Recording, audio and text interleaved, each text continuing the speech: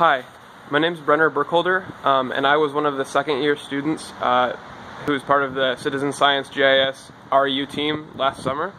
Um, and if you're a student who's interested in how climate and other environmental concerns affects communities, then this is the REU for you. Uh, the work we did focused on flooding, disaster management, uh, and marine debris, and we used um, GIS technologies to map a lot of those things, uh, as well as other social science uh, methodologies.